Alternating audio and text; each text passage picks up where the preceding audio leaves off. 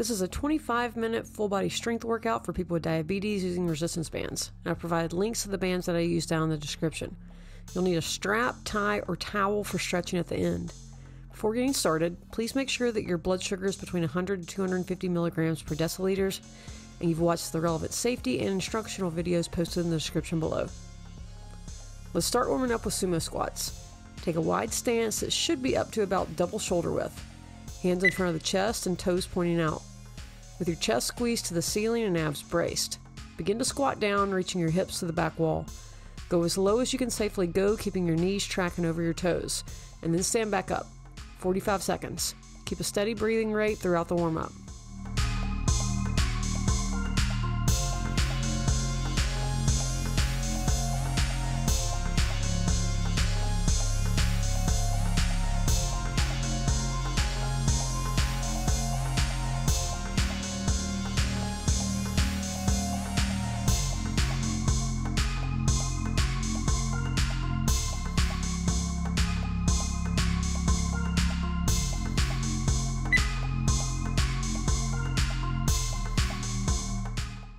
Let's lie on our backs for dead bugs.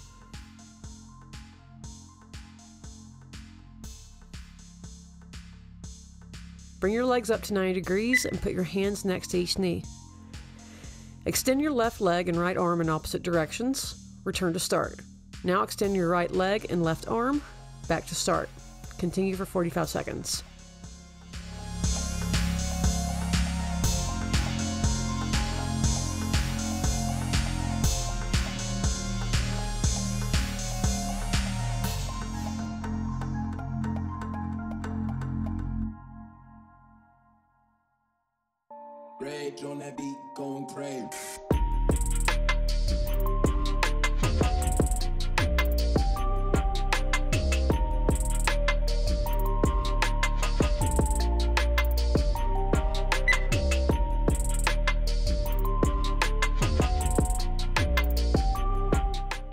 Roll over to your hands and knees for cat cow, placing your hands directly underneath your shoulders and knees below hips. Pull your spine to the ceiling while pulling your head and pelvis toward each other. Hold for a few seconds. Now reverse the position so that your head and tail are now pulling towards the ceiling, while your belly button drops to the floor. Hold for a few seconds and repeat each for 45 seconds.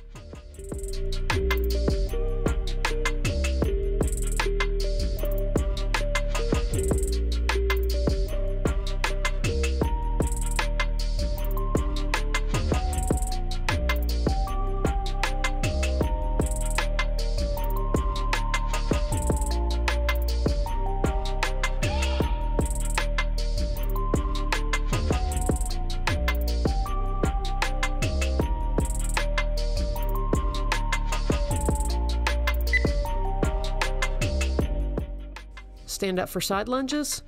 Start with a stance that's about twice as wide as shoulder width stance, with your trunk upright and hands on the hips or in front of the chest. Begin to bend your right knee towards your right ankle, keeping the knee tracking over the foot. Go as low as you can comfortably go, pause for a second, and then push off with your right foot and return to the starting position. Repeat on the other leg. Side lunges are going to put more of an emphasis on the hip adductors and the inner thigh, with more activation in this muscle group when compared to a sumo squat.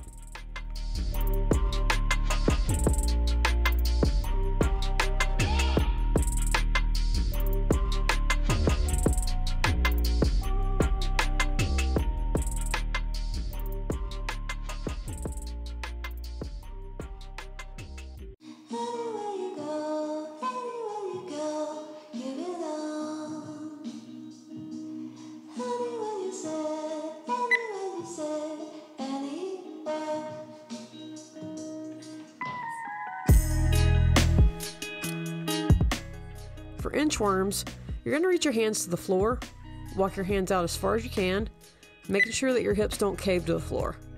Pause for a few seconds, then walk your hands back to the start and stand back up.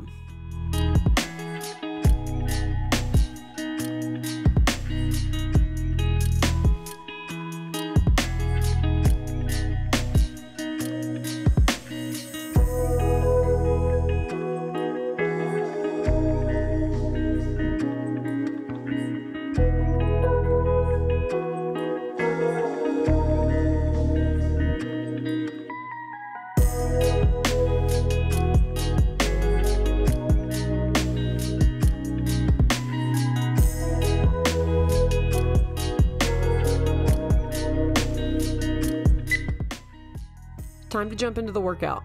We're doing seven different movements that will each be repeated once, and we'll go for 30 seconds on and 30 seconds of rest for each movement. The first exercise is the banded sumo deadlift. Loop each end of the band around each foot and take a wide stance like we did in the warm up with the sumo squat. Bend over with a flat back, bend your knees, and grab the middle of the band. Chest up and abs braced, begin to straighten your knees. Once the band is above the knees, start to open the hips and stand up all the way. On the way back down, bend at the hips until the band is just below the knees. Then start to bend the knees until your hands are at about mid shin level. Continue this movement for 30 seconds. Inhale on the way down, exhale on the way up.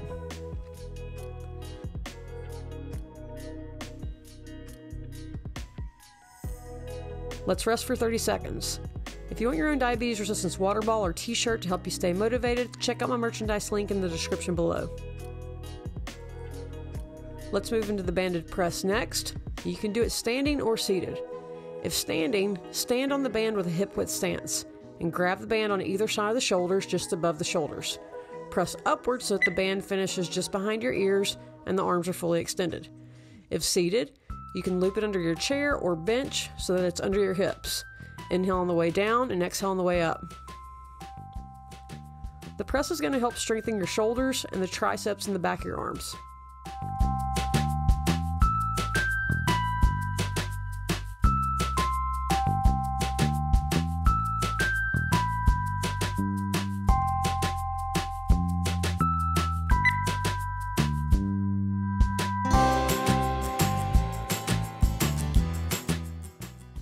Next exercise, the banded lunge, is a great exercise for improving balance, and there's an instructional video in the description below.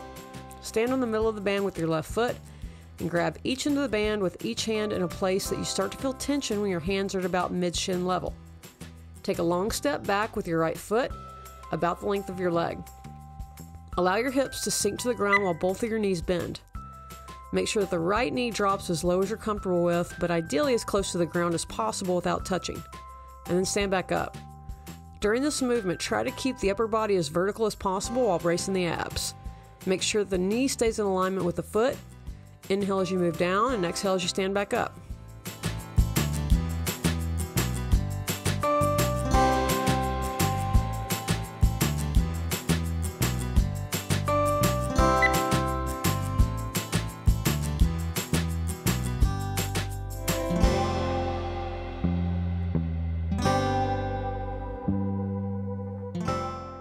Next exercise is the banded floor press. Lay the band on the ground and then lie on your back so that your upper back is on top of the band and keep your feet on the floor. With each end of the band in each hand and your elbows at 90 degrees with your triceps against the floor, make sure that your arms aren't perpendicular to your body but angled in towards the trunk at about 45 degrees. Press up until your arms are completely straight and back down. Inhale as you lower the weights and exhale as you press up.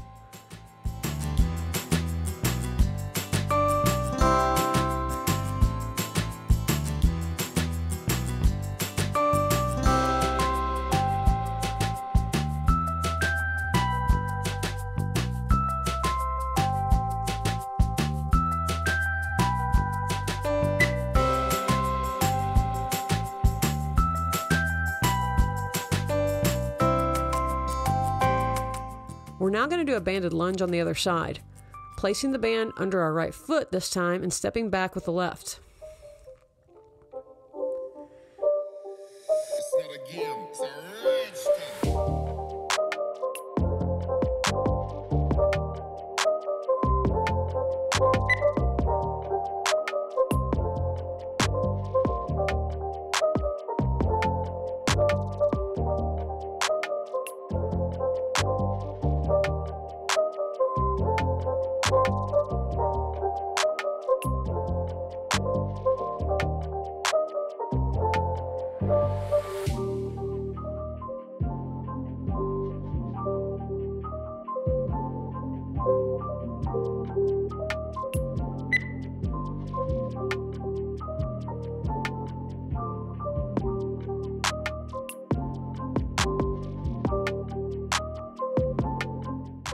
Banded reverse flies are up next, and you'll need a lighter band for these.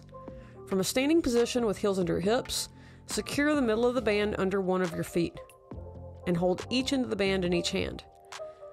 Put a slight bend in your knees.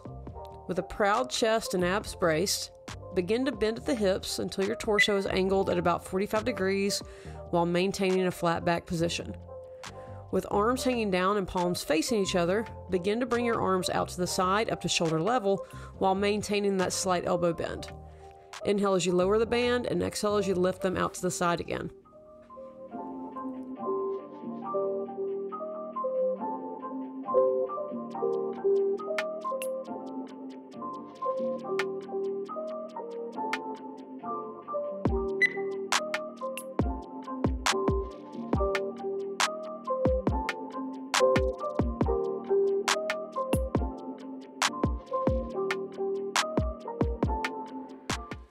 Last exercise in the sequence is shoulder taps, down to the mat. Place your hands underneath your shoulders and get into a plank position with a wider foot position, about shoulder distance. You can also do this from your knees. While keeping your hips stable, tap your right hand to the left shoulder and then place that hand back under the right shoulder. Now tap the right shoulder with your left hand and then return that hand to under the left shoulder. Continue these movements for the rest of the 30 second bout.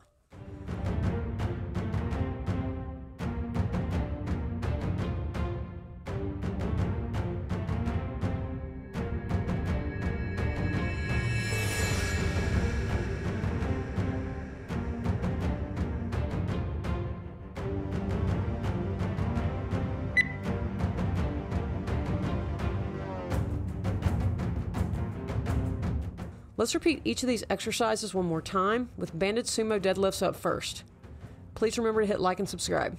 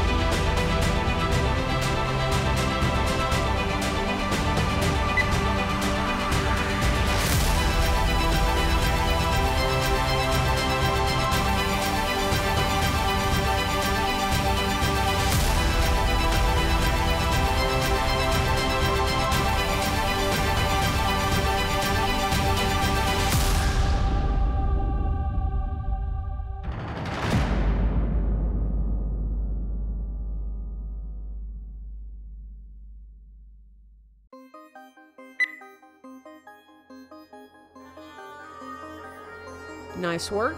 Time to cool down with some stretching. Sitting on the floor, pull the sole of your left foot into your right inner thigh. Point your right foot forward, squeeze your chest up, and begin to bring your chest towards your right leg while maintaining a flat back. If you have tight hamstrings like I do, you may not be able to go that low, but this stretch is going to help improve your range of motion, which is helpful in preventing lower back pain. Make sure that you're stretching until you feel some tension but no pain. 45 seconds.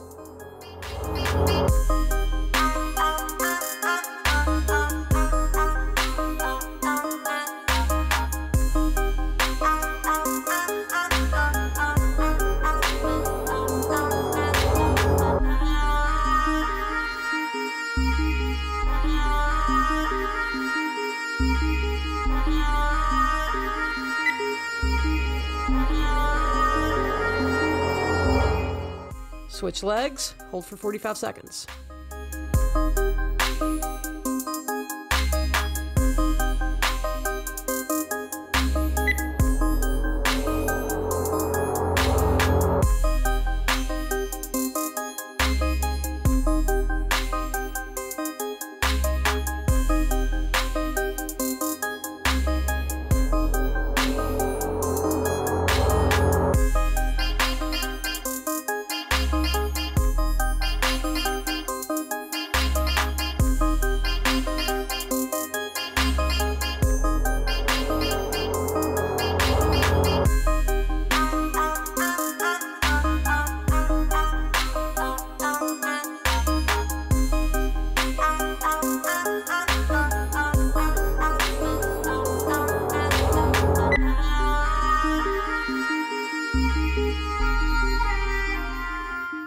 Grab your towel for the next stretch.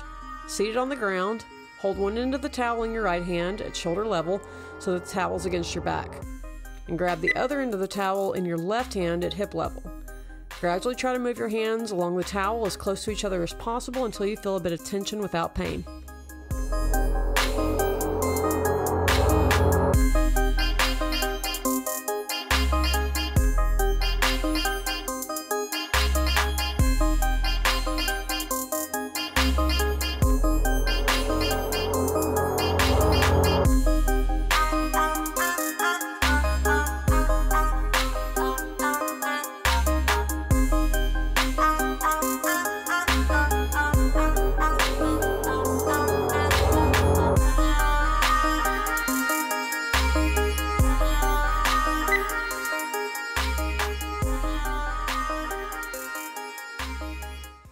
Switch sides.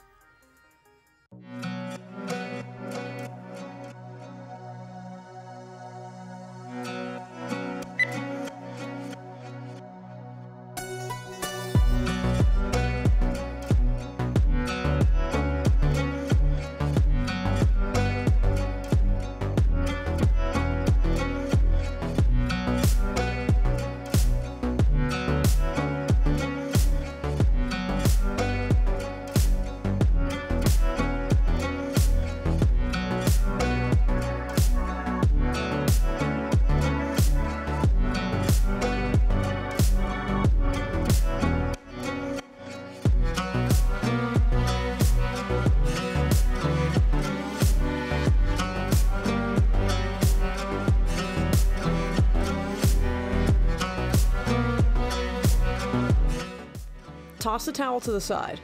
With wide leg placement, open your legs as much as possible without pain. Chest squeezed up, walk your hands forward while maintaining a flat back.